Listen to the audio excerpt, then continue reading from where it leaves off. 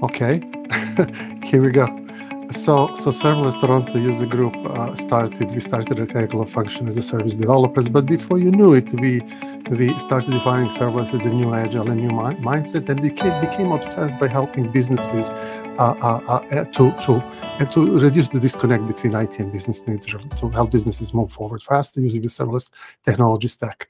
And you may be wondering why uh, this data reliability uh, topic uh, today. How do we choose topics? So, so uh, if you remember, like when we started four and a half years, our tagline was that serverless is less uh, IT mess, and and we were looking for the clean architecture, simple uh, serverless uh, services, managed services that can help businesses uh, create good solutions. And somehow in the process, I, I, I became obsessed with the work of Joe Emison because he's entrepreneur sharing his simple architectures outside to the world. And we would go through the architectural stack and then invite the companies that we see uh, in his diagrams uh, to, to the meetups. And looking back, like maybe like 25% of the meetups uh, were inspired by the thing uh, Joe Emison did in the past. So, so uh, so compute problem, personally, I think that compute problem has been solved uh, with the serverless technologies, and, and, and there is more mass in the data. So we started addressing the uh, data, modern data stack topics, and we had a meetup uh, about Fivetran. Last meetup was with Segment CDP platform. Uh, we had a talk from Looker, Leah, and then uh, we had Felipe Hoffa from Snowflake talk about that, a couple talks about Google BigQuery.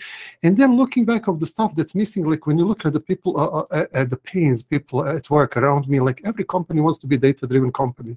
But if you have bad data or if your pipelines are not uh, good, like this data-driven decision-making dream the kind of goes away. Nothing happens.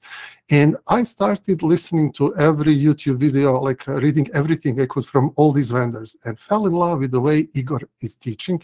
And I have not even used his product. So I've never seen it, but just the way he teaches is so inspiring that I asked Egor to, to make the collage out of the highlights of the topics I liked in his presentations, where I've seen people struggling, and to present uh, to you. But before I give microphone to Egor, I want to I'll tell you that I hope that to see you next month with us. We're going to have Joe Emison second time visiting us. This time it's his fifth unicorn uh, comp, uh, startup that became a unicorn, and he's going to uh, share uh, the story about that. He's writing a book right now, and he's going to go probably with some through some architectures that we did not see. So we have more topics for the future to cover. And then if you stay until the end of the meetup, uh, you will be eligible for Manning uh, Publications raffle, any of their products. So thank you, Manning, for being a sponsor.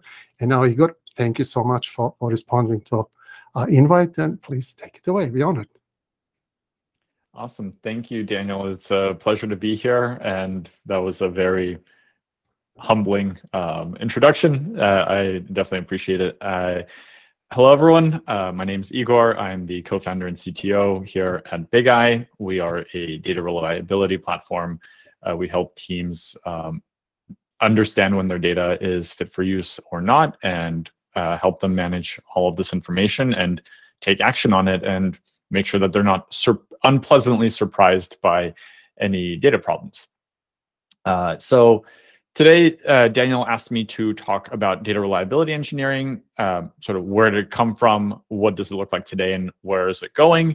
So this was actually a really interesting topic for me. A lot of some of this stuff I've pulled from previous talks. So apologies if you've seen some of my slides before, but some of this is brand new material. So this will be a very uh, an, an exciting journey for all of us because I'm gonna try something new, and I enjoy doing that.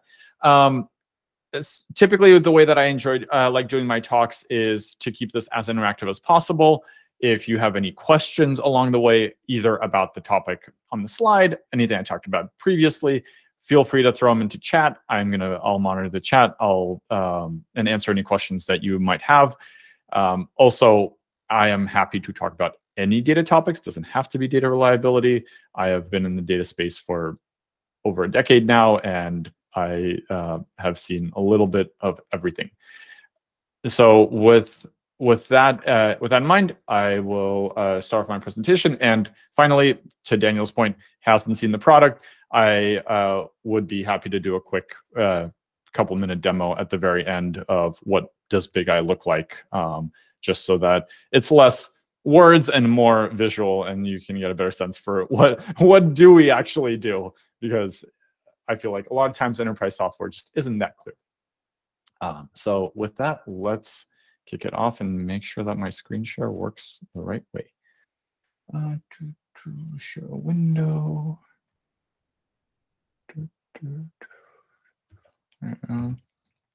And it's not really big deal. You, you are repeating it. It's like a collage. Like people go to church every week, hear the same thing. so, yeah, it's, it's, sometimes I feel like it is. Uh, it is definitely Groundhog's Day in terms of some of my talks. That's why I like to keep it interesting for my own self too. I, I want to make sure that I stay I stay interested in the things that I talk about. Thank you. Um, awesome. So um, Windows got really dark in here. Um, all right let's get going. So let's uh, data reliability engineering, past, present, and future. Let's get straight into it. Very obvious agenda. We're going to do a quick intro, past, present, and future, and then a demo. I didn't have a fifth bullet point. Sorry about that. So uh, as I mentioned before, my name is Egor, co-founder and CTO at uh, Bigeye. Before this, I was at Uber. I was one of the first people called a data engineer there. They were migrating from a bunch of Postgres replicas into a proper data warehouse. Um, and my team was responsible for migrating all of those workloads, setting up all the tooling that we need to scale, and um, supporting all of the business internal users and workloads that uh, existed on the warehouse at the time. Uh, the Uber was a really interesting company from the perspective that everyone had access to data. There was an internal tool called Query Builder. It was a web page with a web uh, with a form in it, and you could write some SQL, you could push a button, and it sends it to the database. And good luck. I hope the database survives. And our team inherited that workflow. We had hundreds to thousands of weekly active uh, users on the warehouse, all submitting queries that we couldn't predict. And so a lot of the work that we did was to scale our own operations. How do we model this data? How do we migrate uh, people's workloads onto the model tables? How do we deprecate tables? How do we build ETLs faster and enable other teams to pre-process their data? How do we track that the data is loading on time? All of these questions that today are known as data ops, we had to build tooling around because we had a very unique environment. Now, a lot of big tech companies, FAANG plus plus. I know it's not FAANG, it's what Mana now, Manga. I forget what they're called now. The big big tech plus Airbnb, uh, Lyft, Uber, uh, Pinterest. They all built internal tooling to solve for these problems. And when my co-founder and I uh, went out to every other company, we said, Do you deal with the same problems? And they said, Yes, data quality is a problem. I show my um, report to my CEO, and the CEO says, Something's broken here. And now I have to spend my weekend figuring out which number is wrong and why and where did it come from. And that inspired us to build uh, Bigeye as a way to provide the sort of tooling that everyone needs in order to scale a data organization and let data engineers and uh, data practitioners get back to the stuff that they actually enjoy doing building machine learning models uh, new pipelines exp exploration analytics so on and so forth. So why so uh, beyond our own experience beyond our own asking people about it what is actually what happens across uh, the industry? Well data quality is a, a problem everywhere. Uh, Gartner estimated that an organization on average uh, loses 12 and uh, almost 13 million dollars a year just due to poor data quality.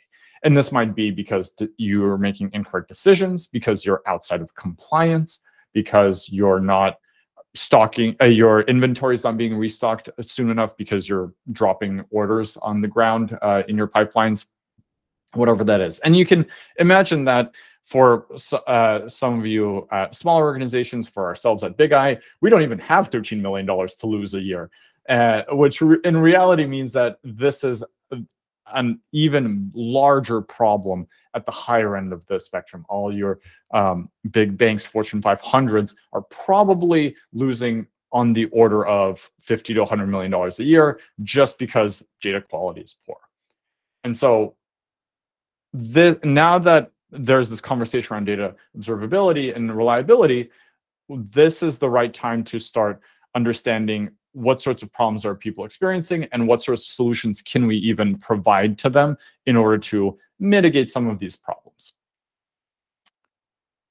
So how did let's talk about how we even got here to begin with.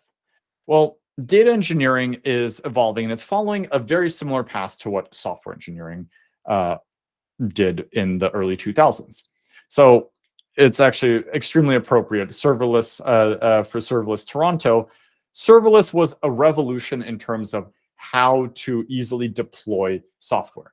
All you had to worry about is writing the code, build, uh, creating the API, putting it somewhere, and you don't worry about it. It works. The application runs, the API is available, it's going to do uh, some logic. Before the 2000s, you had a closet, and there was a rack in a closet, and you put the uh, machine in the in the rack, and then you deployed it on the on the machine, and then you, if you need to scale up, you buy another machine, and you stick it in the rack, so on and so forth. With the advent of AWS, um, followed by GCP and Azure, infrastructure became easier. And now there was a second order problem of, well, how do we get things deployed to that infrastructure?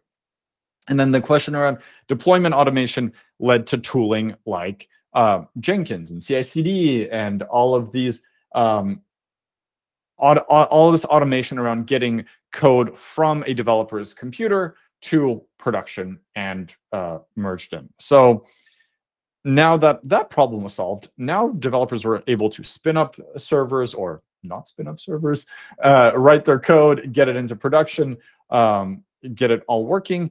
And now there was the problem of, well, now I have one engineer who is really running three, four, five services in the cloud, and they all have different APIs and they all have different availabilities, and we need to understand what they're all doing, and they're all interacting with each other in unpredictable ways. And so that led to the creation of the monitoring observability space in software, which is really um, was spearheaded by companies like Splunk, Datadog, New Relic, AppDynamics, the companies that help you understand what is your software doing. So this is the state of the world in software. Obviously, we're still evolving and uh, growing on that front, but let's take a look at how this correlates back to data. Well, data has had the same problems that software has had, except for everything's been shifted by about a decade or so. If you think about infrastructure, data infrastructure today is a solved problem. But even when I was at Uber in 2014, this it's not doesn't seem that oh eight years ago. wow. Um, so even even eight years ago, we bought Vertica, and Vertica had to be deployed on physical machines in a data center. And we had physical machines running uh, running a package. And we, if we wanted to expand our cluster, we bought more machines. And cloud warehouses really became prominent after Snowflake. Redshift sort of dropped the ball on this. Don't tell if you're at AWS, I'm sorry, but it's true. Uh, Redshift was the original cloud warehouse. They could have gone there. Snowflake beat them to the punch um, and is now really considered the dominant cloud warehouse. Although BigQuery by revenue is larger than Snowflake, uh, but Google does some tricky things around that. Um, regardless, data infrastructure is now easy. It is now easy for me. I, as the co-founder of a, at that point was a five-person company, I went to Snowflake and I pushed a button and I had a, a, a warehouse that I could load data into and I could query it and I can do things from it. Great. So now we have all of this data coming in. Awesome. I have my marketing data and my internal application data and my sales data all feeding into one system. Now I want to do some reporting on it. Well, I'm so tired of doing all these joins. I don't want to be processing all this. I need to like manage this better. Great. Let me do some data modeling. I need some uh, ETL frameworks. I need to push this data in rather than scripting it myself in my Airflow job. I'm, I go to Fivetran and I now go and I enable a bunch of connectors and now I don't have to run my own Airflow jobs. I can just load data into the warehouse because something else is managing that for me. And so that was the second order problem for data. So now you have a lot of easy access to data, easy access to uh, compute and storage that scales well. And now you have, in the same way that you've had that one uh, software engineer managing five different services, you have one data engineer managing possibly 500 different tables. And data scales much, much, much faster. If you think about software, software scales at the rate of how fast can I write code? Data scales at how fast can I go and enable a new connector in Fivetran, which becomes terrifying because I enable one connector, I now have 50 different tables with 50 different concepts, and I, as a data engineer, have no idea what they're doing. And I really hope they're all correct. And so then the problem that we faced at Uber, that everyone faces here if you've ever had to deal with a data system, is you somebody builds something using that data, makes a decision, and it's wrong. The dashboard's broken. There's no data for yesterday. The data's stale. The, there's zero sales for last week and now there's panic and ever the whole organization freaks out and says what's the data team doing why is the data team not uh, giving me bad data but it's not the data team's fault it's the it's a, they are a victim of the scale uh, that data teams operate at today and the ease with which it uh, we were able to start ingesting the data. And this is the need for data reliability. This is when data reliability comes in and says how do we build the processes and what uh, and how do we have the tools that we need in order to ensure that the data that we're using and the data that we're presenting to our users and stakeholders is correct or maybe if not correct at least conforming to the my assumptions of it which is the exact corollary to what SRE does for software so with that let's jump into reliability I drew that core. Uh, I drew that connection between software engineering and data engineering to to draw this connection, which is SRE is a well well understood, well known concept now. Google wrote a whole book about it. It's how do you manage software re, uh, reliability at scale. And so, what is SRE? Well, it's a set of principles and practices that helps soft uh, that takes software engineering and applies them to infrastructure and operations problems. How do you manage software? How do you deploy it? How do you run it? And the goal is to have scalable and reliable software systems. And Google declared these seven principles of that the teams need to uh, internalize in order to have reliable software. And they have built tooling around this. And this is now a solved problem. This is a well-known practice. Now, if we think about the need for SRE evolving out of that a scaling a scaling up of software, then we can also see the need for data reliability engineering evolving out of the scale of, uh, of modern data stacks. And so what's data reliability engineering? Principles are the same. You might notice nothing changed on the right-hand side of the slide.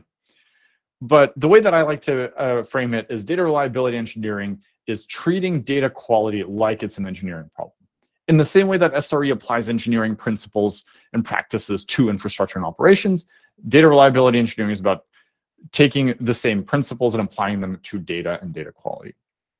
And so what are these practices? What are the tools that we need that to make sure that the data that you're using in all of your important applications and in your decision making isn't broken and you your team can stay moving fast in the same way that SRE allows uh, developers to deploy applications quickly and iteratively.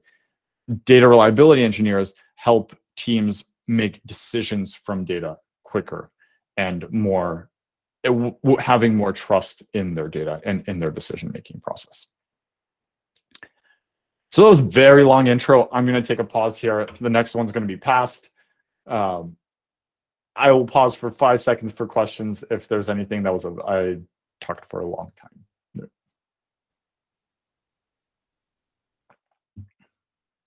No. Okay, let's keep going. Great.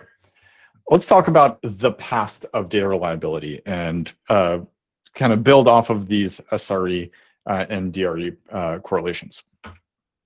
So if you look at SRE, th there are a set of well-known practices and um, tools that you can use in order to understand whether applications work correctly there's a lot of there's cloud tooling. Everything has a system status now. Green checkboxes and uh, are everywhere in the world now. And this green checkbox tells the user of the application of uh, your service that everything is working correctly. So what did this look like for data? And when I say past, I'm talking, let's say eight years ago, 10 years ago. What did this look like for data teams. And honestly, some data teams are still in this mode. Well, if somebody wants to ask, is my report working correctly? Oftentimes it's, I have this giant Excel spreadsheet or this giant SQL query, and I have to find the one number that looks wrong in this whole thing. And that's impossible. There's no green check mark. There's no red check. Uh, there's no green or red checkbox here. It's simply good luck. This is your whole report. Figure it out. And this is where you get into the problems of, well, executives look at uh, look at the report and they have a business knowledge that's deeper than the analyst, and they go to a place and say, in in the example of Uber, um, this was this is a real story. The CEO saw a report where uh, numbers in Brazil were lower week over week, and then um, he said, "That's impossible. I know we ran a campaign in Brazil. I know they're not lower. Something's wrong with the data." The person, the stakeholder at the end of the day, has to catch the fact that the report is not working well. There's no green checkbox, no red checkbox. This is untenable. You're scaling at the not only at the um, speed of hiring more people, having more people look at reports, and some companies have whole teams just looking at reports. But that not only are you scaling that way, you're also costing valuable time and energy from typically the most important and busy stakeholders in your organization. Second concept, you know that something's broken you already you found out there's a red checkbox in your application. The status page uh, is in all green. Why is it broken? How do you do that in software? You have Datadog. New Relic AppDynamics. I'm not going to discriminate. They all do about the same thing. But you have a dashboard and the dashboard tells you information about what's going on in your application. Maybe there's a specific endpoint that's broken. Maybe it's a query that you're issuing against your transactional database that takes a lot of time and it's uh, starting to hang up a bunch of your uh, APIs. So this amount of visibility into what is going on with your application and with your systems is considered common practice now.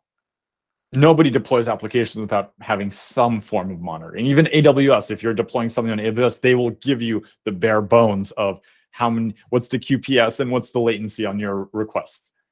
At least you get something there. What do you what do you get with data? What happens when you ask somebody, why is my report broken? I don't know. The VP might say, hey, something's going wrong here. And the data engineer will say, I'll look into it. And then they're going to go run a query. And they're going to run a query that looks something like this uh, dashboard, which is I expect about 12% of values to be null in this column, but I don't know how many nulls do I have in this column. And I know it's non-zero, but I also know it's not 100. So let me go draw a line somewhere and let me go do all this manual work here. And this is untenable. Everyone kind of has to do their own investigation. There's no central place that a data team could go to 10 years ago to say, what does my the state of the world look like for me? Now, infrastructure aside, infrastructure was a little bit better because it's always been a little bit ahead. For example, I could tell you for my, Vertica cluster which node had a high CPU or not, but I couldn't tell you that my table didn't load for the last 24 hours. Or I expected to load 10,000 records yesterday and I've only loaded 5,000. That is all considered broken, but I don't know why. And whenever anyone would ask us a question, we'd have to go in and do the investigation. And probably the most frustrating part about all this for data teams is every time you ask this, there is always a Slack channel. There's always something internally where every single data stakeholder goes to and says, why is this query broken? Why is my report broken? Why do I not see the numbers I expect? And without having a dashboard to point to, it's all ad hoc, completely unscalable. You can't do that. So now we know that the report's broken. Now we know why it's broken. Well, what's next? What's causing it to break, right? What broke your application? APM. This is really cool. I have an endpoint and I can go from my endpoint through the code that ran and I can tell you what through uh, what where the exception was and I know that that bubbled up the exception and now I know what's going on. An APM is a solved problem. And now I can tell you exactly like, oh yeah, great. I have a 5% error rate. I know I have a 5% error rate. Guess what? They're all coming from this one method that uh, I just um, updated. I didn't show, I'm not going to show like all the trace back to GitHub, but application software, uh, the software world has this concept of let me trace through my logic to understand why are things breaking. So same corollary. What what does this look like in the data in the data world? Uh, Ten years ago, well, I'm gonna go look at GitHub and maybe someone made a change to my data to my pipeline, and maybe it's maybe it's in DBT and let me go read the source code and like do some debugging, and then go let me go on Slack and ask people like, did anyone change this? What's going on? Like, when is this going to get fixed? What's actually breaking it? No idea. And this is like I said, completely untenable. And honestly, it's de demoralizing. The like some data teams just do this stuff all day. Answer questions. What broke? How is it broken? Why is it broken? How do I fix it? And that that's a, that's a I don't want to spend my days that way. And I'm pretty sure that no other data team does as well. So enough of the past. I mean, we talked about like this seems like a pretty dire situation. I feel like at this point everyone's depressed and they're like, why would you ever work in data? Well, everyone who works in data is a bit of a masochist, so that's uh, the first part of it. But in reality, there are there are the upsides, and the data world does evolve and it gets better. And so let's ah, yes, ah should have known which slide was next. The re and the real problem for all of this, and the real reason that we have all of these uh, that we can't answer these questions in data is because all the off-the-shelf solutions are exceptionally manual. I'm going to pick on Informatica again. If you use Informatica, if you're from Informatica, I'm sorry, and uh, this is nothing personal here. I'm going to pick on Informatica.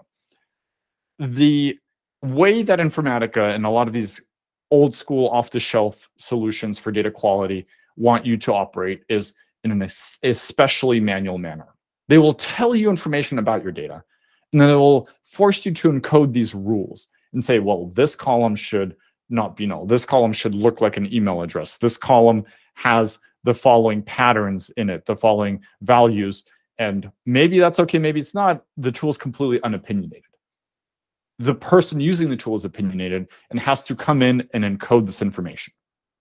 This leads to whole teams worth of people doing what is called data governance now, when in reality, data governance is just let me go look at a bunch of data, try to understand it, and try to build rules around it and descriptions about what it looks like and what it should look like.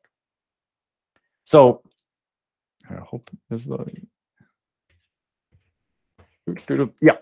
And so um, these off-the-shelf solutions for the vast majority of folks are too difficult to use, too time-consuming, too unscalable.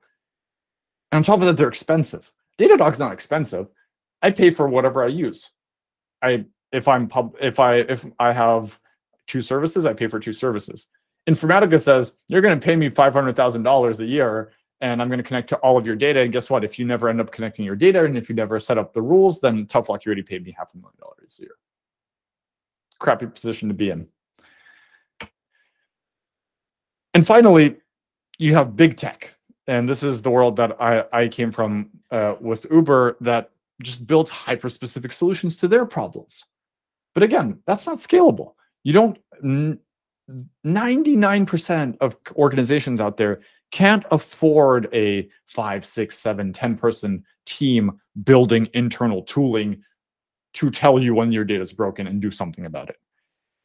So some of these examples of hyper specific solutions, uh, we have uh, Intuit's circuit breakers, probably the most well-known and simplest example of uh, data reliability. You have some data quality alerts. If the alert uh, if the alert fires, then it fails and you can't do anything and the pipeline doesn't continue running. Once it passes again, the pipeline can run.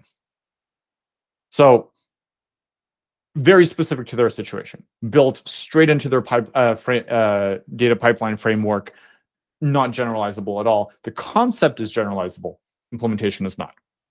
Useless for everyone. Airbnb has Midas.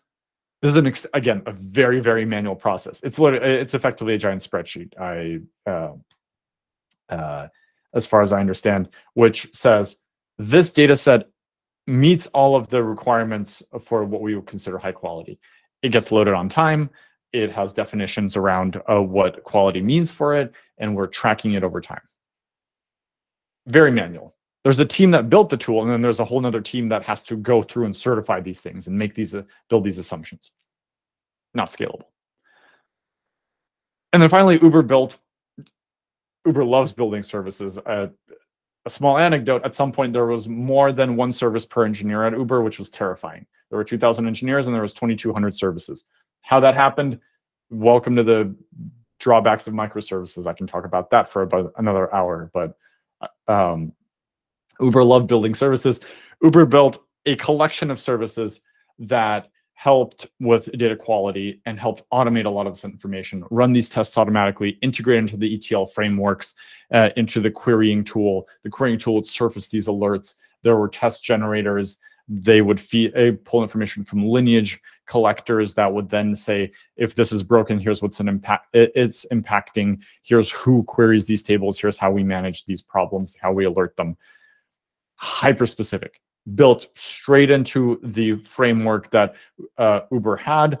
Nobody has what Uber has for good reason too. A, a lot of this is way too complex and uh, unnecessary for most teams. But outside of big tech, you're left with go spend a half a million dollars a year on something and then throw 10 people at it and hope that they classify and uh, categorize all your data and tell the tell the data what's uh, when it's right. So, like I said, grim, grim, grim situation. Uh, now, um, everyone's facing the same problems. Everyone's trying to solve the same problems. There's no general solution. So, what happens? How did we get to where we are today? Well, a lot of people realize the same thing at the same time that data reliability is a problem and we need to start building tooling around it. And so Bigeye is one of those companies. And what what does the world of data reliability look like today? Well, a lot of the first of all, a lot of the concepts around reli data reliability are becoming much much clearer.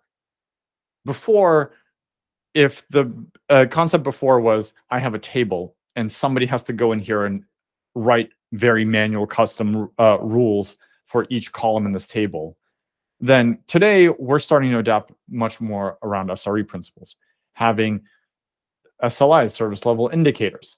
What are we tracking in order to understand the state of my data? Not whether it's right or wrong, what is the state of it? How do we monitor it? And so those then feed into these SLO service level objectives where at what point is this considered a problem? If my table's on time 99.5% of the time, that might be okay. And then SLAs are finally those user facing, um, the user facing notion, the same as the SRE has. Your application has an SLA, guaranteed response time under a second, um, or for example, uptime of three nines in, in a given month. Great. You have a you have an uptime SLA you declare that, you send that to your users, and they know what to expect. And data SLAs are the same way. A data a table, a data set is really just another application, and users are going to query it. They're going to query it through SQL. They're going to pull data out, but still an application still has an SLA. You still want to treat it the same way. So the concepts are starting to overlap a lot with uh, with the SRE concepts. Out of the box solutions are becoming more automatic. There's no more go here, click uh, write some rules, write some SQL, schedule it, do whatever you need to do. This is a, a marketing version of a of a Bigeye workflow where point us at your snowflake. We'll go do all the we'll figure out what data you have, what permissions uh, Bigeye has, and we're just going to start monitoring things. We're just going to start looking at how often is this data updating. Is that normal? Is that within range? What were the what, uh, how many historical updates did it have? Has it been updating daily all the time? Then it sounds like this table should keep updating daily. And if it stops updating daily, that's a problem. You don't need to define the rules anymore because there's enough information, there's enough metadata out there that you can start automating a lot of this process that historically has been very manual. And with the advent of SLIs, you have this notion of properties about the data that you can track. And now that you're tracking properties, you can find what are the common properties, nulls, distribution checks, um, uh, foreign key relationships. These are common things that you can automate, you can infer very, uh, very quickly and set up easily because they're common across every environment. And then leave all the custom stuff to the uh, person implementing uh, and integrating this, your data reliability systems. So on top of that, going back to why is my report broken? We know now we can find out that our data data is broken.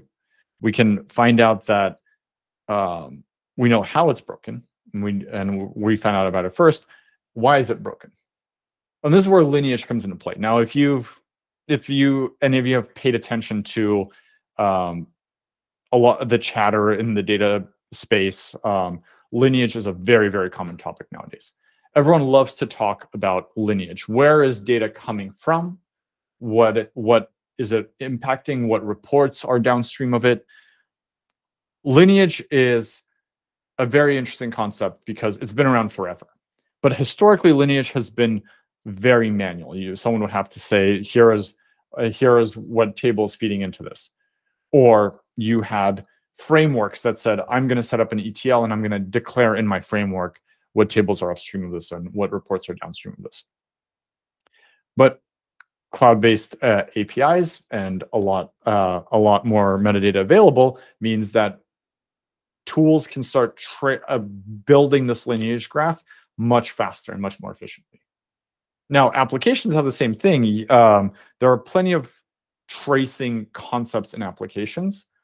Jaeger is actually a, common library if you want to uh, look that up uh, for wrapping your um, endpoint requests for microservices to know which microservices get called as a result of what. It's effectively a manual Datadog APM um, uh, for microservices. But this tracing in software has a, the same corollary in data. And it's important, this is important in order to understand not just what is causing my report to break, but also now that I can find out about problems early, if there is a problem in my table, who's affected downstream? Who should I tell that there's something wrong with my data? And this here is an ex example of a theoretical chart. I grabbed it out of um, a um, an example screenshot, not real table names, very obviously, but it, you can see that you can start tracing if there are issues upstream, what are what what's being impacted downstream. You can find out how these problems are flowing through your data graph. And now this isn't to say that this is an easy problem or a solved problem. There's a lot of, and I'll get into this in the future uh, section, but it is now starting to become more usable, more tractable, more automated, and less effort involved uh, on the side of the team.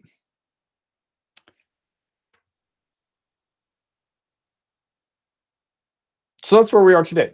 So we're in a we're in a bit of a better place, and it's good. It's good. There's tooling available for this. The tooling is supporting all the common patterns and the use cases. The patterns are well known and well defined and well tested by SRE and our software friends. So what does the future of data reliability look like? Well, data reliability engineering is really just a subset of what is called data operations. Data ops is a is a common um, common phrase here. Uh, the shortening of it. So once we solve the problem of data reliability engineering, how do we start, how do we instrument our data, monitor it, track it, manage the issues, communicate the issues back out to the stakeholders? That's a part of this larger picture. And the larger picture takes a lot of those inputs that we have discovered through in the process of ensuring of building out a data reliability practice and applying them to the rest of the data uh, ecosystem. So things like access control, discovery, I know that this table's broken. Who cares about it? Should they be caring about it? Should anyone uh, should anyone even be looking at this at all? Is this table even being used? Utilization. So, for example, if we can instrument all our tables and we can alert people, and we're finding out that this every time this table breaks, we don't know who to alert because nobody's ever touched it. There's one maybe there was one query a, a year ago, but there is a pipeline that keeps running, and we don't know who to alert anymore because it's being written into never being read. Drop the table, kill the pipeline there you go. You saved yourself on your Snowflake bill. A lot of these things that are higher order operational problems rely on a lot of the concepts and a lot of the foundational information that we collect in the process of ensuring data reliability. And to go back to the software corollary, in the same way that SRE is just a part of operating a software uh, an infrastructure and a software uh, ecosystem, data reliability engineering is just a part of operating a data team and a data function and making sure that it works efficiently and um, scalably. So why is this in the future slide? Well, because I want to call out that this is just the start.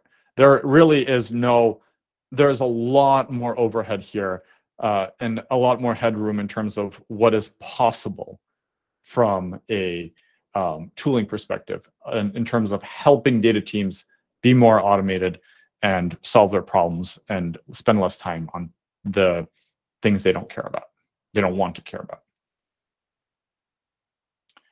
So let's go jump back to reliability specifically. Well, what what does uh, reliability is great. It's important to know that something's broken. It's important to monitor it. But where is that information presented? So for example, let's go back to Datadog. I'm an on-call engineer. I have pager duty. Datadog uh, has information that my service is broken. It's going to page me. It's going to present that information where I need it. I need it on my phone, and I need to know that something's broken so I can go take action. Maybe it's going to go present it on a, a dashboard. Maybe I have a Datadog dashboard up on a monitor uh, 24 7 and there's going to be a big red square that says this alert's going off data does data reliability needs to move in the same direction. The information needs to be where users need it. And for the purposes of data this means at query time at discovery time the information about what is the state of the data and can i trust it needs to be presented then. So what i'm showing you here is a screenshot of Alation. Alation is a data catalog. Data catalogs are a whole category of tools that are used in order to help users find data that they need, discover it, understand how it's being used, understand how uh, where it lives, whether they have access to it or not.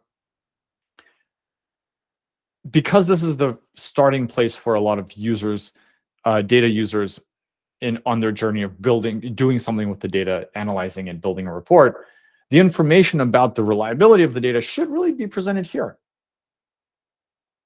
And I, where else? What about at query time? I don't even have a good screenshot for this. No one's done this yet. PopSQL is getting close it. They're a tiny, uh, they're a small startup, but they're getting close to it where I want to write a query. I want to start typing select month uh, sum of sales from my sales table. And when I'm typing that query, I should be able to see you're about to query the sales table we know there's a problem with it. We know there, uh, that the data uh, has been delayed and there's no data for the last uh, two days. Are you sure you still want to run this? Because you're going to get results that you don't expect. Great. I should find out about it then. I shouldn't have to run that query, get the data back, and then find out that something's broken. Putting that information where the users would access it, where it would be most relevant to their workflow is really what's going to make data reliability truly prominent and actually useful within an organization. It's great that we have the tools to compute it. We need to push it out. In this case, Bigeye, we at Bigeye have an integration with Alation. We push our information into Alation for any of our customers that use both products, and that allows uh, those customers to get that information where they need it. Otherwise, they have another tool. Bigeye can message Slack, but still users have to go back to Bigeye. We want, ideally, we would want them to stay in the workflows and the tools that they need in order to do their job and put that information there. And so going back to the information that we need to present, something that is sorely missing is the standardization of information in the data space. So if you think about going back to the software analogy, if you think about software, there are standards. There are standards around how you collect metrics, how they're stored. Uh, there are API standards for how do you rep, uh, report metrics out of your application. There are known concepts like counters and gauges and timers, and they are repeated across every single monitoring uh, solution that you have. Applications have a standard way of reporting things back up. Servers have a standard way of reporting things back up. It is trivial for me to say, what is the CPU utilization of my server? Every machine will do that, and it'll do it in the same way. And it's very easy for me to understand that. It is very easy for me to understand how much memory my uh, Docker container is using. And it doesn't matter if it's a Docker container or a, a Java application running on a server or Python, whatever it is, I can find out how much memory it's using. It's always the same. Data's not. Data has is too heterogeneous. There are too many custom implementations of everything around, even at the level of the infrastructure. In the same way that you can easily report CPU utilization, I can't always easily under even know which tables exist in a database. We here at Bigeye have to have to pull information about which tables we can see so our users can monitor them. We support 14 different databases. The number of if-else statements I have in that code path is astonishing. Everyone is different. And you, you might say JDB, well, JDBC is a standard and everyone uses JDBC. So why don't you use J, the JDBC methods? It's not how it works. Apparently, no, because everyone gets to decide how they want to implement JDBC and have their own interpretations of the standards and of the methods and return their own res uh, different result sets. And then BigQuery is going off completely on a tangent and they're like, well, you have to use our library and our frameworks and we don't really fully support JDBC and it's a little, it's a workaround mostly to get in, into BI tools. And so there have been some, there has been some progress here. Um, Schemata is probably the most recent example of this, where providing a protobuf standard for how to how do you define information about tables, about metadata, which tables exist, how do you tag them, how do you provide more information around it. Um, this is in the first iteration. Open Lineage um, was a project out of marquez marquez got acquired um, by Astronomer. Open Lineage has the same notion of what data model can we use in order to start consolidating information out of all of these different systems? And how can we make that extensible so that when new concepts appear, that data model will still work? This is all extremely nascent. There, there isn't a single solution here that's actually being adopted by anyone. And probably the only thing that's going to tip the scales here is if a major player in the data space adopts some form of standard. But there, no one's incentivized at this point. Snow, Snowflake, BigQuery, Redshift, no one's incentivized to do this, and everyone's gonna keep doing their own custom thing. But I, I am a dreamer, and I uh, someday it would be great if I could have just one method to say what are the columns in my table, and have one one way of uh, retrieving that, regardless of where I'm what I'm querying. But this is where I see the future, and I think uh, the standardization across tools is really the uh, the future because without standardizing this information, we're never going to be able to build the sorts of workflows and present this information in the sort of way that is useful for for our users. And at the end of the day, that's the goal of all this data tooling. And with that, I, I want to thank you for listening to my to my talk. Uh, it's been a pleasure. It is uh, top of the hour. Um, happy to take any questions live and chat. Um, but yeah, thanks a lot. Thank you so much. I, I hope you you guys could see why why I liked Egor's teaching so much. So, so but but for companies like I would eventually want you to go through the demo of Bigeye as well. But like for somebody who is starting from custom scripts, like the pain you described, and jumping into the tool, it's a big gap. And then open source tools are very often mousetraps to get you into the paid version as well. So, so how do you navigate uh, uh, through? Like in, at one of the talks, you were talking about different use cases, different commercial vendors do, and, and like it's the same problem everybody's solving. So I think sharing helps. And some of the communities even deleted the post when I invited them uh, here. So yeah, sharing helps. Open source, I it's a it's a double-edged sword. The the problem is there's no true open source uh, company that will actually make uh, make money. Everyone who makes money on open source ends up building so much on top of the open source that there's no open source left on, underneath. Think uh, even think about things like Cloudera, Confluent, um, uh, Hortonworks. All of these companies started with open source and then built their own layers on top of it to solve the real problems that people cared about.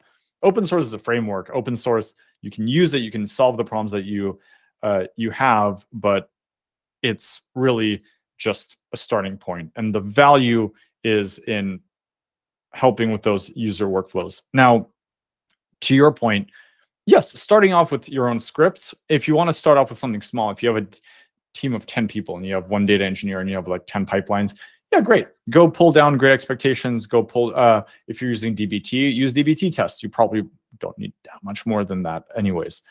Um, the important thing to understand though is the rate at which teams scale out of that is phenomenal. Even we here at Bigeye have we started with DBT. We have DBT. We model our data that way. We have some tests, and we are at this point. We're at a point where we're like, yeah, this doesn't scale. No one is going to go update these tests. No one's going to write them. We just changed the schema, and now we have to go update three different files in order to uh, account for that. We don't want to do that. So now we need better tooling. Um, same with same with a lot of different data concepts. Like you just need, you will grow out of it, and the all, other part of uh, the point I usually like to make about open source and building your own, rolling your own solution, whether that be data solutions or software solutions, is think about what the core value proposition of your business is.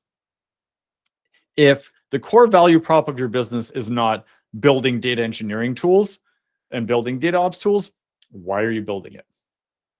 We, I, I personally, as a as a CTO, I stand by this I tell my engineers, buy it. Why are we building it? We do not need to build workflow tools. We do not need to reinvent the wheel on databases or ORMs. Use what's on the shelf. It will probably get us 90% of the way there because that's not our core value prop. Our core value prop is monitoring data at scale. We do a lot of custom work around connecting the databases, uh, generating the right queries, filtering th them down, making sure we respect partitioning. All of this is highly custom because that's core value to us. All of the infrastructure stuff, not core value. So I'm not going to build it. I'll pay for it. And typically, a vast majority of data teams are not core value to the business. They are um, helping inform decisions.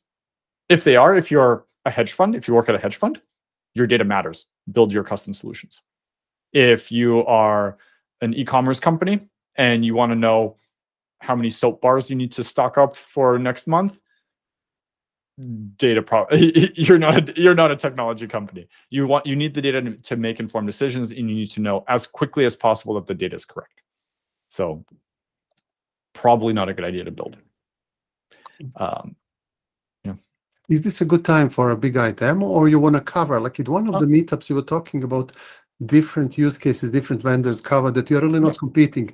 Everybody's solving their own problem. Can you lighten people so they can pick and choose? Yeah. Not yeah, I more more than happy to. I before I get to that, I know Ravinder has a question, so I'm happy to take that um, live, and then I'll move on. Yeah, thanks a lot, Egor. So uh, I have a background of a observability engineering role, which I'm currently playing for a uh, one of the biggest Canadian retailer. Uh, you emphasized on standardizing the data. Um, unfortunately, within the enterprise, it is not practical. because we are dealing with the legacy applications, right? Yep. So especially, uh, you know, I I was trying to solve a bigger use case for last two three years uh, where we were trying to handle logs, metrics, tracing, and we had Mhm. bunch of tools in our enterprise, right? Even with their presence, still we were having a lot of loose edges, and it was very difficult to figure out how to stitch everything. And we did a le- detailed assessment of even APM tools also, like which tool is best in our use cases, right? So I'm just trying to figure out, like, is is the Bigeye fits in which segment? Is it handling all three pillars of observability, or is it focused on specific two, two, two areas, say metrics and tracing? So that's what I'm not I'm not clear actually. Yeah. So, uh, I want to be clear that Bigeye focuses on data data observability and data reliability. So the information that is in your in your databases.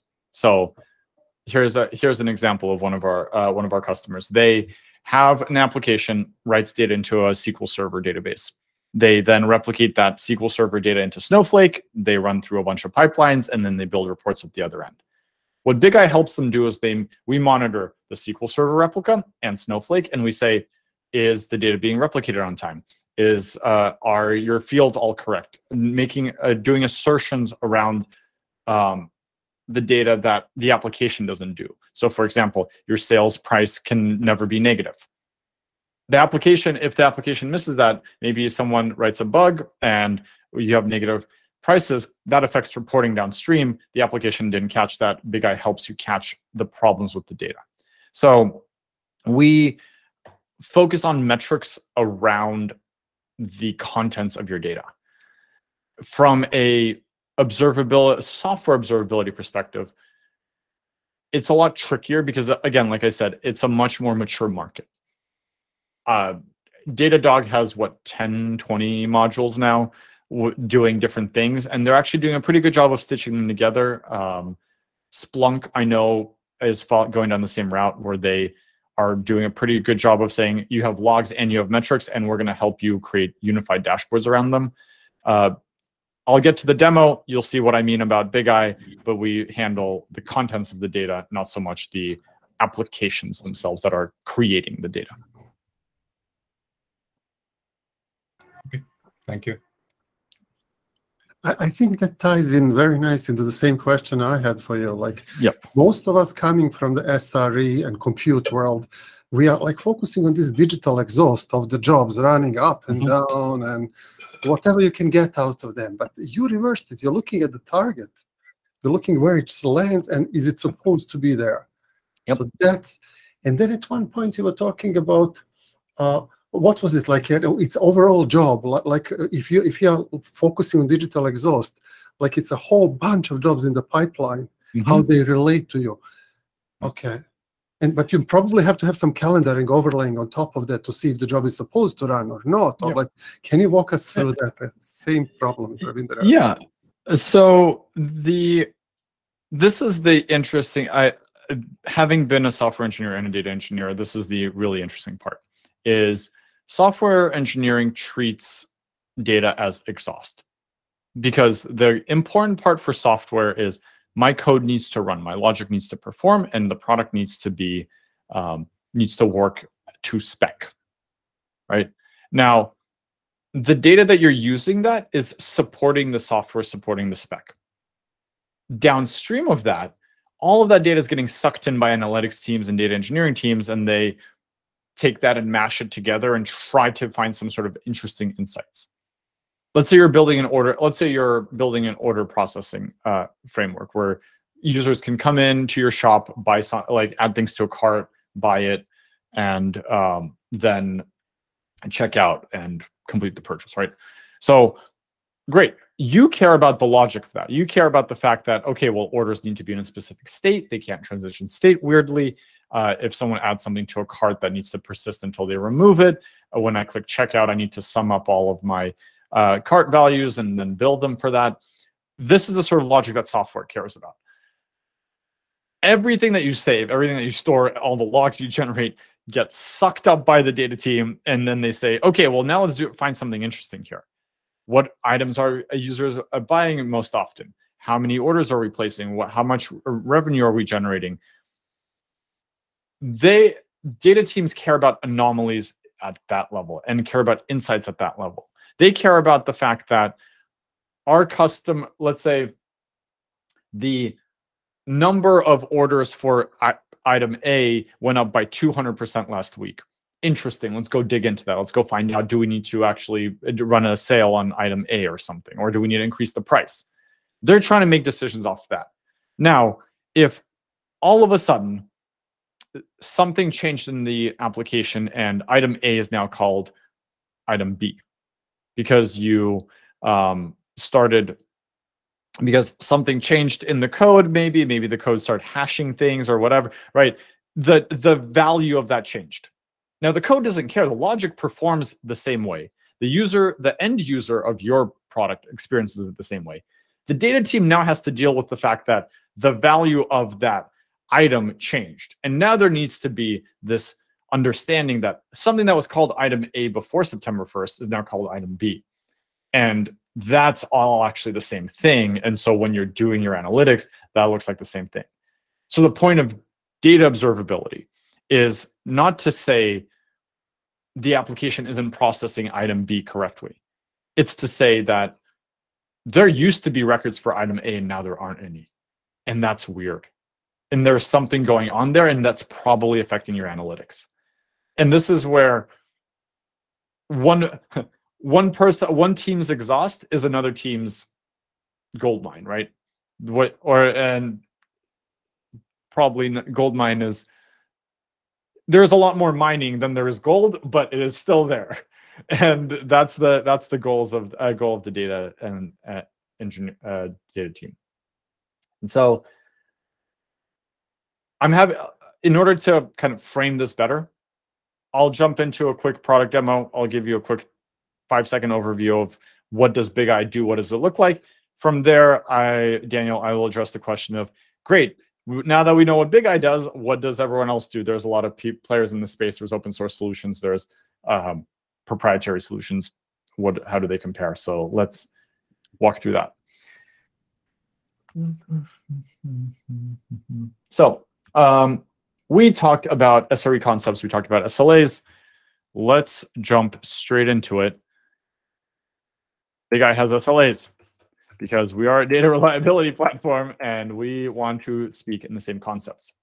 Now, SLAs for software are typically around applications, SLAs for data teams that we've seen from our customers. And this is a demo environment. But what we see is they're focused on team. What does the team care about?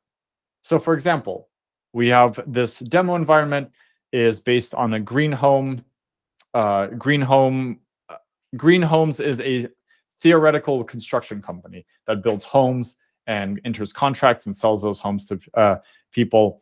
The and analytics team might care about how are contracts doing? Are we selling more homes? Are we building more homes? This SLA tracks a set of metrics. Now, metrics in software land are CPU uh, util and latency and QPS and um, maybe custom metrics that you track. Data is trickier because it's, it's heterogeneous. There are different properties that we want to track depending on the data set, depending on the specific data that's inside of it. So for example, here, what we have is we have 21 metrics that all impact this dashboard, that are all tracking properties about things in this dashboard, such as how many rows were inserted over time into the table that's feeding it. Now, here I can see that I we're usually loading uh, like uh, less than 4,000 records a day. And all of a sudden we started loading 9,000 records, probably running a job twice. Or maybe there's a real anomaly and there's a real business use case here. I can go and investigate this. Bigeye helps you find this out about the state of your data before you go to you go to the dashboard and get surprised. And so the tricky part about Bigeye is how do we create all of these metrics? How do we deploy them? How do we scale that process out? And so let's talk about what D Bigeye monitors. Now, Bigeye doesn't monitor applications, excuse me. Bigeye monitors databases. So here we have Snowflake, Redshift, Athena, Synapse, uh, Databricks. These are all analytical databases that data teams use. Let's go to Snowflake. Here we see we have we have schemas, we have a virtual schema, we have popularity. We know going back to the standardization of information, how many queries were run against tables uh, against this schema? Actually, impossible to answer highly custom for every single data source. This is something we have to build custom, but we know that we know how many queries are run. We know what tables exist there. We know what these tables look like, and that doesn't any. We know what these tables look like. We can even look preview the table. And we can say, look, this is what the contract table looks like. This maybe this is a sync from your transactional database into your analytical database. But now we want to track properties of this over time and know that the data isn't changing, or if it is changing, then we know how it's changing. And so Bigeye helps you set up metrics. And metrics monitor this information over time. How often is a job type valid? This is a custom metric. There are a lot of not custom metrics. How often are strings empty or uh, null or fields null? But you might have some custom business logic that says the only valid value in this column is one of remodel or new build. And I don't expect any other values. And if I get any other values, then that's a problem for my dashboard because I assume that there's only two values in this column. And so building what Bigeye does is we help you build out this foundation of data reliability by saying, let's go to your tables, deploy your metrics, let's create thresholds. These thresholds are automated. Our, in the same way that Datadog has their anomaly detection on your CPU utilization that says, this is your typical range. If it goes out of this range, we'll alert you. Bigeye does the same thing for all of these metrics about the state of your data. And then we take it a step further and we can help you debug your problem, going back to that root cause analysis. Because all of this is about your data, all metrics are really just SQL under the hood, which means we can reverse engineer it in order to understand what your assumptions are. And we can say, find every single row where my assumption is broken. Why is this metric alerting me? Because there's all of these records where the job type has an underscore in it, and we don't expect an underscore. Software engineers don't care about this. I updated an enum and I pushed it, and my new enum with the underscore is out in production. The data team cares about this because the data team says, I already made an assumption that there's not going to be any underscores, and if a third record appears, my dashboard's going to break. My model's going to break. My machine um, my uh, machine learning model will retrain incorrectly. So SLAs are composed of metrics. Metrics go out of out of range. All of this is automated, and that creates a set of issues. And issues are now just effectively task trackers. What's this? Uh, what's impacting this? Uh, what's what, what is this impacting downstream? Who responded to this last? And I saw Andy acknowledged it, muted it for 24 hours. He's probably going to go fix it. Maybe he's going to drop the bad records, adjust the thresholds. Don't know yet. But Bigeye helps you start thinking about these processes in the same way that SRE thinks about these processes for software. I'm not going to bore you with all the other features. I can go on a whole feature tour, but this is the point of Bigeye is to help you monitor your data at scale. Now, there's a lot of other solutions out there, as Daniel mentioned. There are open source solutions. Um, the difference between uh, here's one example: the um, Great Expectations. It's an open source framework for Spark jobs. If you have Spark jobs that are doing some computation, you can embed uh, Great Expectations in it and have assertions about your data there. It's great that that's in the pipeline, it's in the code, but if an assertion fails, what do you do about it? How do you notify somebody? This is in code. All, all you do is you get an email that says an assertion has failed. Now what? There's no history, there's no tracking, there's no graphs. It's very powerful and very efficient for the developer, but not for the end user, not for the person doing something about that problem. And this is the point of having an external tool to sit on top of your database, on top of your pipelines, rather than being embedded in order to uh, better understand the whole system and give you that visibility rather than saying go back to your pipeline go to the code change the code. This needs to live separately. So great expectations is awesome if you're getting started and you want to kill the pipeline. As soon as there's a null in this field as soon as a price goes negative stop my pipeline stop my processing don't even i don't care about this issue tracking because this is immediately invalid and i want to stop the world. Perfect. Great expect you should totally use great expectations. If you have some form of error tolerance, then Bigeye and more uh, external solutions are better. And so then you have solutions like Bigeye and Monte Carlo and Anomalo and Metaplane. We, we all do very similar uh, things. We all do observability. The question is at what scale? Bigeye is a very, very much a by the principles. We want to be the data reliability platform you can express whatever you want because it's all metrics and metrics then get recomposed or er, rolled up into SLAs. They create issues. Everything is tracked through these well understood concepts. It's extremely flexible, but it's also you have to do a little bit of setup and we try to automate as much of that as possible. Other tools are geared more towards you have uh, 10,000 tables and you want to just monitor the basic properties of are they even being loaded on time?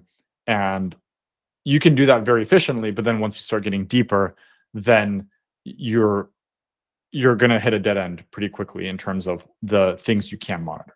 So it's the trade-off between flexibility and power and automation. And now here's the thing. The tools are going to start converging. In the same way that datadog and New Relic and AppDynamics and dynatrace have all effectively converged at this point from a feature perspective, the data observability space is going to converge. Um, the question is, what is it going to converge on? And this is what I think the future is yet to hold. Uh,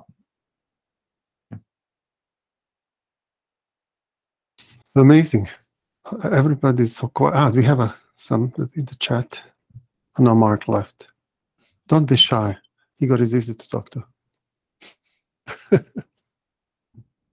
so there's so many what i love like you turn my world upside down. It's like sweater from outside. Rather than looking at jobs bringing it in uh, you're looking from the inside because like every tool has a job monitoring thing but who monitors the monitor? Is it arriving on time? Yeah, yeah.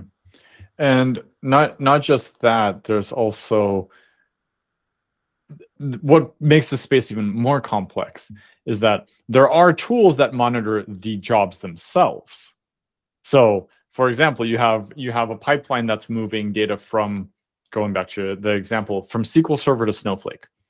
I pulled this table out. Maybe I filter out some uh, um, PII and I strip out the emails and I strip out the names and then I dump that into Snowflake for analytics there is a pipeline there. That pipeline runs on a schedule. It takes a certain amount of uh, time to run. So there are tools that just monitor those pipelines and the, the statistics about them and information about those pipelines.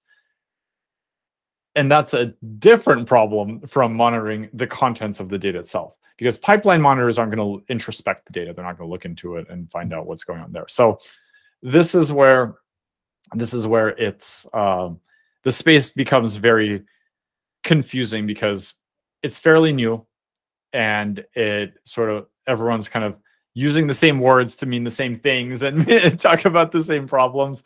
And i think at some point there will be this like normalization of terminology. And that's why i am a big proponent of let's keep stick to as close as possible to sre and as close as possible to the concepts of sre because the cons a lot of the concepts are the same. It's just the application of them is slightly different. That is awesome. Be before yeah. you answer this question about licensing, you're talking about terminology. Data quality concept exists for a long time. It's siloed teams, well established. How do you kind of bring the gap? How do you define this versus data quality? Like, uh, yeah, this is. I think this is one of my favorite questions. So there are, there's the notion of data quality. Now there's data reliability. There's also data observability. There's also uh, data monitoring. All of these words eh, are in the same sphere. The way that I see it is data observability, which is what uh, we do is an input to take some action about the data. It is looking at your data continuously over time in order to collect signals about what is the state of it. In the same way that software observability is collecting signals over time about the state of your application, data observability is collecting the state of your data over time. Now, that feed that signal then feeds into data reliability because those are the processes and tools that you use in order to do something about that. When something, when a signal goes haywire, what do you do about it? How do you track that? How do you um, uh, work with it? Now, data quality is sort of this balloon like mega term of like, I need to know whether my data is correct and I can use it. Good data quality means I can use it. Bad data quality means I can't. But in order for you to say yes or no to is this a good a good data quality or not, you need to take all these signals. You need to have all these processes in place. You need to be able to understand it and um, do something about it rather than just guess and or use manual effort. So data quality is sort of the overarching theme, but it is trying to answer the question of can I use my data or not? And then data reliability is the practices and the tools that you need to implement in order to answer that question. Awesome, thank you. And before you answer Ravinder's question about licensing, I didn't see connector for BigQuery. Do you do that? Yeah, we do BigQuery as well. Okay, so so there's a uh, question. Yeah. Mhm. Uh, Ravinder, um, licensing for us. So we try to uh, do it similar to APM tools. So in this, for example, in the same way that APM does per host, per application, per um, yeah, some APMs tool uh, uh, do memory based. Um, we do table based. So for us, in the same way that an, an application is a single contained unit that you want to monitor, for data teams, a table is a single unit that they want to monitor. And what we charge on is how many tables are you monitoring? And for us, rather than looking at this in units of one, we were looking at this units in units of hundreds to thousands. Because typically teams have hundreds, thousands of tables. We ha- work with some teams that have tens of thousands of tables. Now, they might not be monitoring all of them, and because not all of them might matter, but we will charge them for the ones that they do monitor. Uh, we, as a fun side note, we did try volume based at some point where we're like, the amount of monitoring you do, and we're gonna every time we issue a query to your database, we'll effectively charge a tax on that. Uh, that hard to hard to predict because it's hard to understand how much monitoring people want to do. And so if your data scientist says, well, now I care about this other table and I'm going to start uh, put monitoring on it and do something about it, then all of a sudden they can run up the bill and nobody likes that. So um, it's a little aside on our journey towards licensing.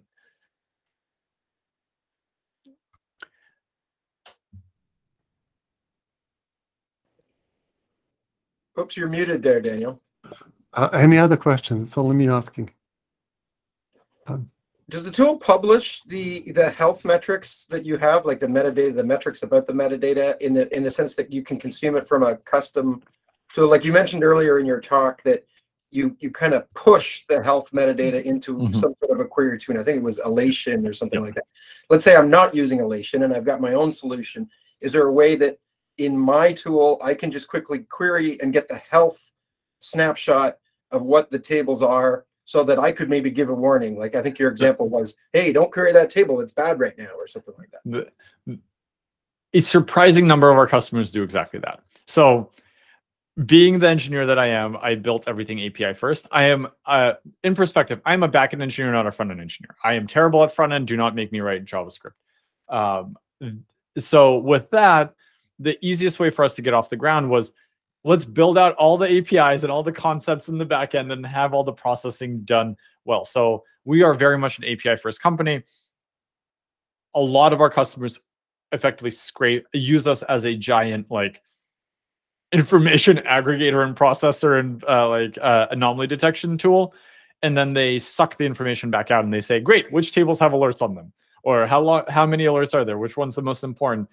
And in a interesting meta um, meta point we actually have a customer that pulls the information out of Bigeye, puts that back into Snowflake, creates their own dashboard about the state of the health of their whole warehouse, and uses Bigeye to then track that own transformation and that or the table for that dashboard. Meta, I love it. It's a You got it's a- layers it's- of inception there. it's am- it's amazing. I, I'm a big fan. Um, so yes, de- definitely plenty of custom integration. We also have a Python SDK if you are a Python fan. But um, yeah, um, Alexi, uh, three questions. Great. Let's take them in order. Uh, one, what's Bigeye's data retention policy? Does it store any extracted data in an intermediate storage? We do not store any of our users' data. So the benefit of using metrics is that everything is an aggregation and there's no raw values anywhere. I- If I need to know the null, how many nulls I have in the table, it doesn't matter what the data under the hood is. If I need to, or for format checks, I can check that a column looks like an email without knowing what email it is. And so Bigeye only stores the sort of ag- aggregated metrics and it does all the processing on that. We don't extract any data. For example, the preview screen, run a query, store it in memory. As soon as you're off that page, it's gone. Like we don't uh, we don't store raw data for users. Um, two, can you monitor and tune up performance and efficiency of underlying Bigeye SQL queries? The the part of the magic sauce for Bigeye's, we do it ourselves. We batch uh, as many queries as possible. We work with scheduling around, especially for Snowflake. Snowflake is particularly um, not deceptive, but tricky to optimize for uh, for cost uh, for cost. It is definitely optimized for performance, and so we do a lot of work around like when should we run a, a query on Snowflake? Is has the table even updated? Do we need to recollect it? If we are collecting 100 metrics on this table, how few queries can we run? What window of time do we need to look at? We do a lot of the optimization across the board, and for some of them we do uh, for Snowflake specifically, 70% of our customers use Snowflake. And so we have like Snowflake specific optimizations we do there too. Um, then can do, mon- do those monitoring rules can automatically apply to new columns? Uh, I love this question. We on, and I will give you a six day sneak preview. We are releasing something around this in uh, next Tuesday, which will allow you to deploy monitoring based on what the tables and columns that appear rather than going in after the fact that after they appear and then deploy them. So yes, this is functionality like this is coming. Um, Thank you. And what a, a de- de-identification, we don't do any of that. We just the way that we treat it is if you don't want Bigeye to have access, if it's that sensitive, don't give Bigeye access to it.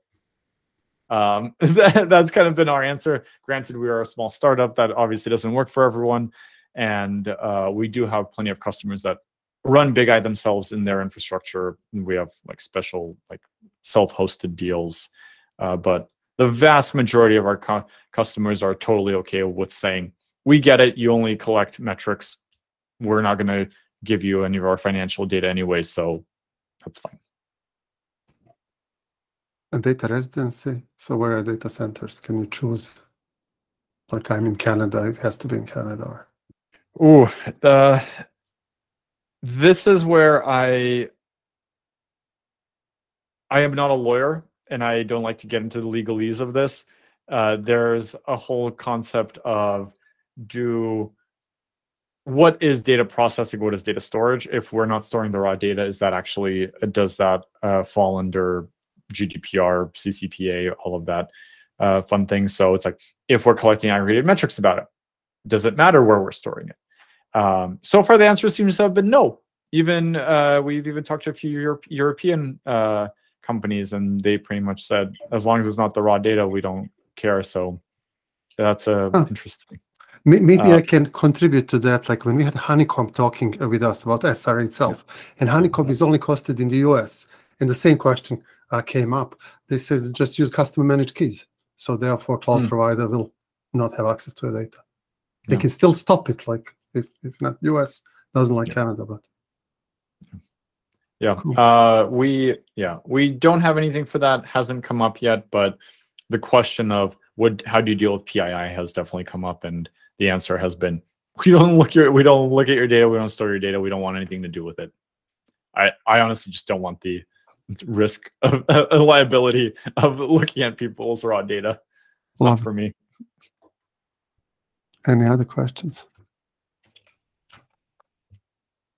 You covered most of my questions. There was one talk you were talking about time forecasting, how you find what data are level of errors, and it was a really interesting discussion you had. But like, if anybody's interested, you can do it yourself from Snowflake schema, something like that. Oh yeah.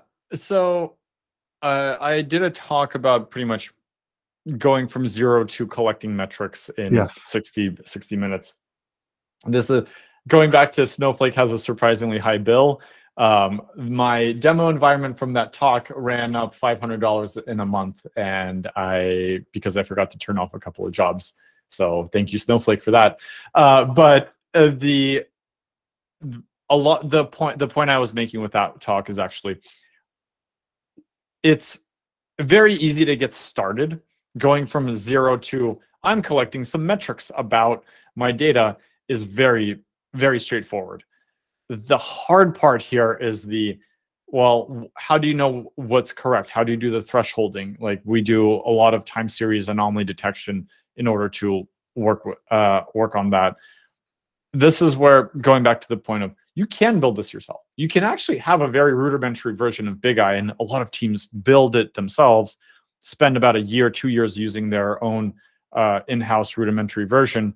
Then they realize they're scaling out of it, and then they come talk to us and they say, "Well, this is how our things work. You need to support this, and then some." And then that's usually a much easier conversation to be had. If anything, that's actually an easier conversation to be had than coming in to someone who hasn't built it themselves, because at least they're already thinking about data quality some teams just don't think about it. They know it's a pain they but they haven't thought about what the solution looks like.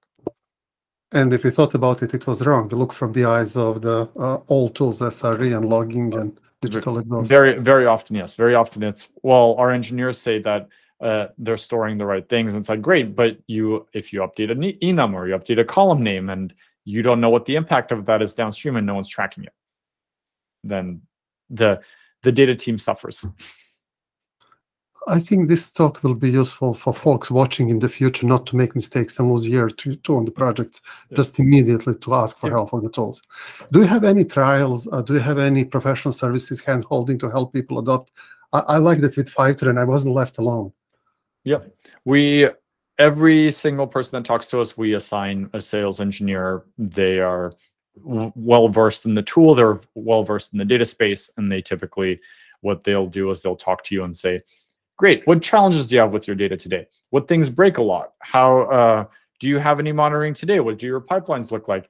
And we sort of help teach you how to one think about what should be monitored and then how then help you instrument that and then for some teams even take it one step further which is let's fold this back into your existing processes what are you using to run your pipelines how do let's teach you about our apis and help you call out to our apis and run metrics when you update your tables and so um, we do have a lot of that hand hand holding um, we liked it's more guidance than anything Mhm. because we you know your environment best we know our product best we just need to put two and two together And do you have any trials? Like how long? Does, how long does it take for somebody to start seeing results? Uh, we typically do about two weeks worth of trial. You will often see results on day one because here is the dirty secret data is always broken. There's always something that's wrong. Um, uh, the question is what is it and where is it? Uh, now um, a lot of times what this looks like is um, we have uh, we have a, a customer come in they're using snowflake they're like this schema really matters to us these are the 100 most important tables we use them for all of our analytics. We say great let's track how many records they're loading and how often they're being updated and one of those tables will have not updated for uh, for too long for like a, a day. And they'll say oh well that's interesting we didn't know about that. And that usually kicks off already kicks off an interesting conversation. And then from there, you can go even deeper. What does the data look like inside of it? Did you load data that was bad? Did you update an enum token? Nobody knew about it. Um, that sort of stuff kind of comes later. But usually teams see value within the first few days.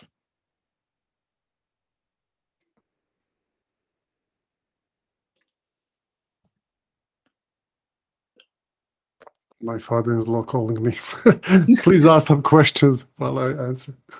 Yeah, no problem. Any other questions about data topics? I am more than happy to talk about anything data related, software related too.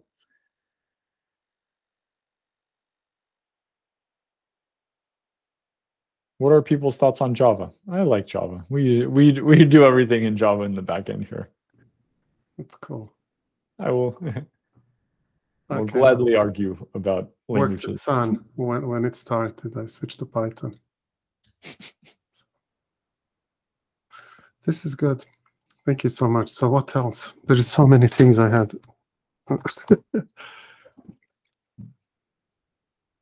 Alphonse, anyone?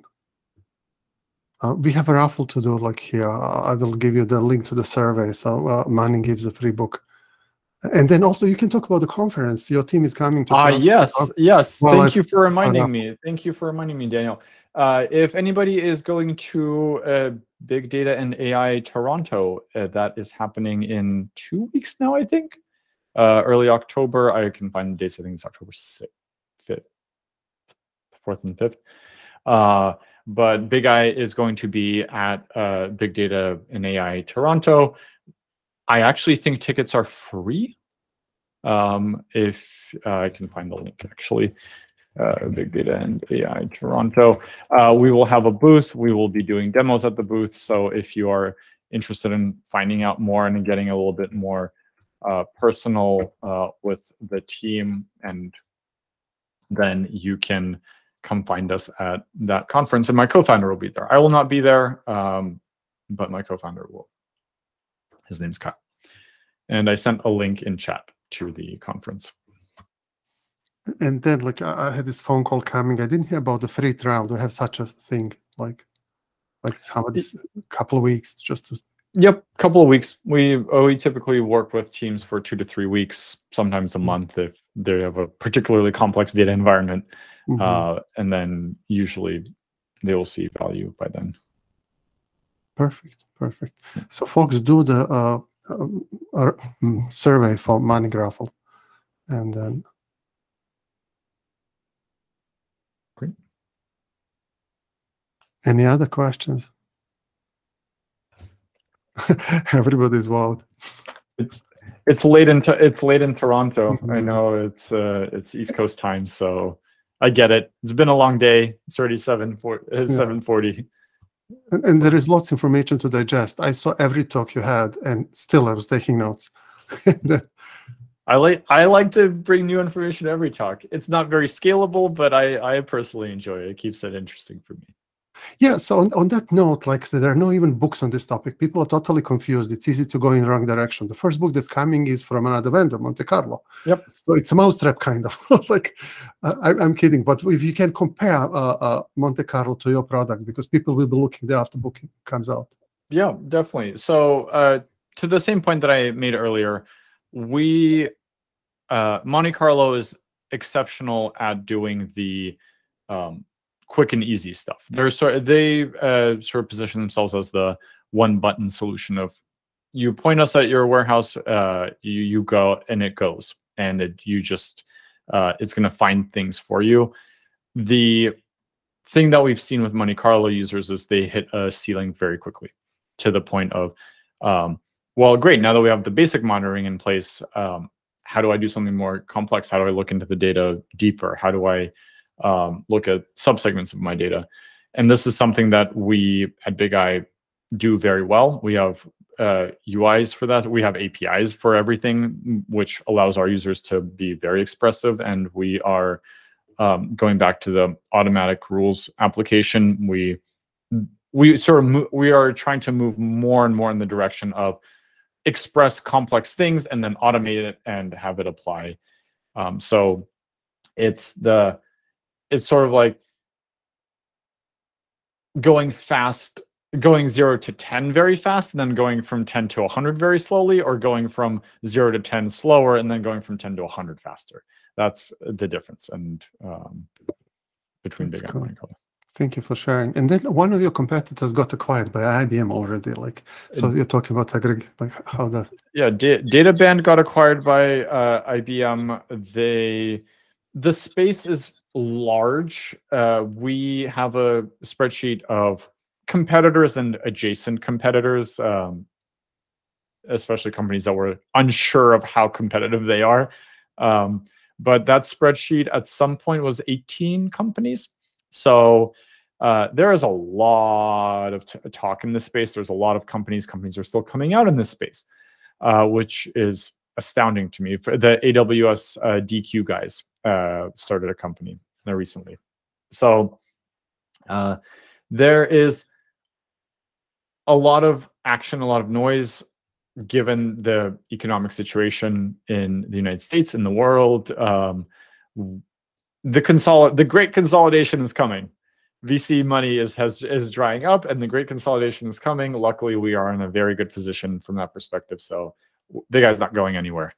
Um, in terms of, um, in terms of the reason there are, so many companies, uh, for example, you don't see anyone creating a new software observability company. No one wants to compete with Datadog. I don't want to compete with Datadog for that matter or when we started, we even asked them, we're like, are you guys going to do data observability? Because if you are, we just won't do it. Um, and they said no. And they're, they're, they've held true to their promise. Um, but the reason for this is it's a nascent space. Going back to that graph I showed, the, the need for data tooling and scaling data teams has come in the last five years. And there's still a lot of market to capture. There's a lot of uh, people doing things manually and in-house that could benefit from having tools and i think the future of the space is really exciting and there's going to be a lot of lot of interesting uh, movement in the next year or two Thank you. I, I'm really owe you. Like you- you're helping lots of people make less mistakes, and I wish you and your company really all the best. Mm. So, so uh, only five people did the uh, Manning raffle survey. I will start sharing you. If you don't want to do survey, you can paste your names here in the chat, and I will share the recording. Uh, it will be. It's easy to remember. Like yeah, and also um nader thanks for the uh nice comment. I uh, i tell this to everyone at every talk. I am more than happy to um, talk to you about anything data related anytime. Uh, my email is in the slides egor at bigeye.com you can also find me on linkedin. If you message me on linkedin i'll message you back as long as you're not a recruiter or a salesperson trying to sell me something if you want a job and you're a salesperson, then we can still talk. Um, but let's, uh, Alexi, it, you know, question how Bigeye figures out what issue in which upstream table caused the data error in a monitor table. Um, yeah, so uh, specified table relations. This is the lineage question. Depending on your database, Bigeye may be able to infer lineage. Snowflake, BigQuery, Redshift, we can infer lineage based on queries. Uh, so for example, if you say insert into table A, select star from table B, join table C, we know that table B and table C feed into table A. So if something's wrong with table B, probably something's wrong with table A. Um, the tricky part here is this is highly dependent on the database and how you're generating your data.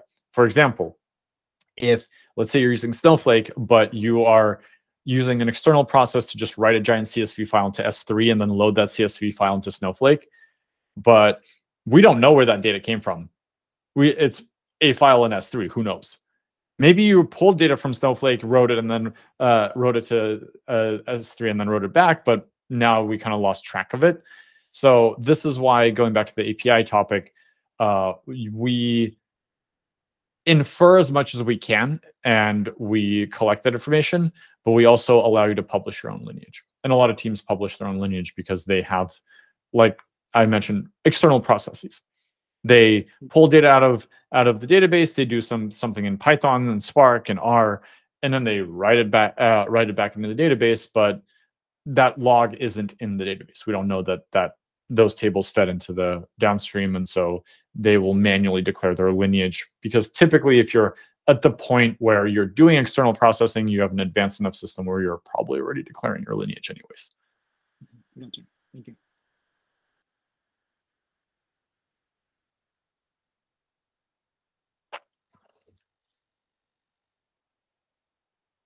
Awesome. Uh, don't go. Uh, we need uh, to choose the raffle winner. Let's do it. So only five people pasted their names. I did yours as well. Uh, anybody else uh, wants to, to put the name in chat?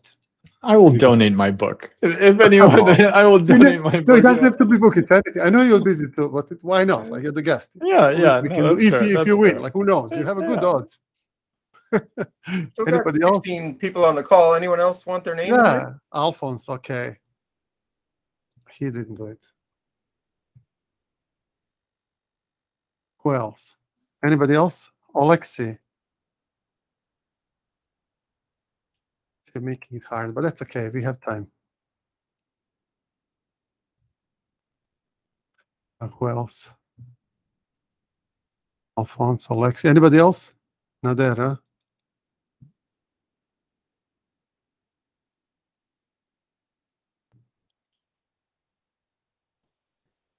Okay.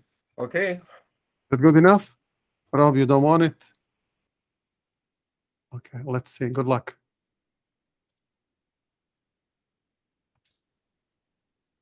I love how there's a little website and app for everything, even spinning a oh wheel. Oh my God. Well deserving, Alphonse. Hey, Thank you.